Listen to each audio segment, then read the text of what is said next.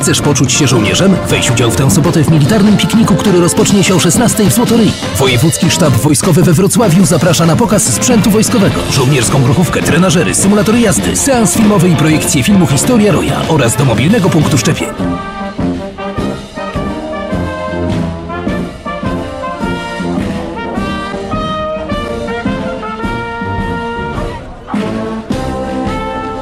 Specjalnie z Złotoryi dla zaprzyjaźnionego wojska Andrzej Andrzejewski, Radio Wrocław.